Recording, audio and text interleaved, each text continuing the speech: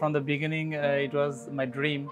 I work with in this humanitarian response actually. I'm uh, in the COVID response now. Main challenge is for us, uh, we are working with uh, the such type of beneficiary who are already in more vulnerable condition uh, as uh, in the refugee camps. Uh, it is very difficult uh, to maintain them with uh, the physical distancing and isolation and quarantine. Moreover, there is superstition and the social stigma. It is very tough to stay away from your close one, but you know, it doesn't matter some positive things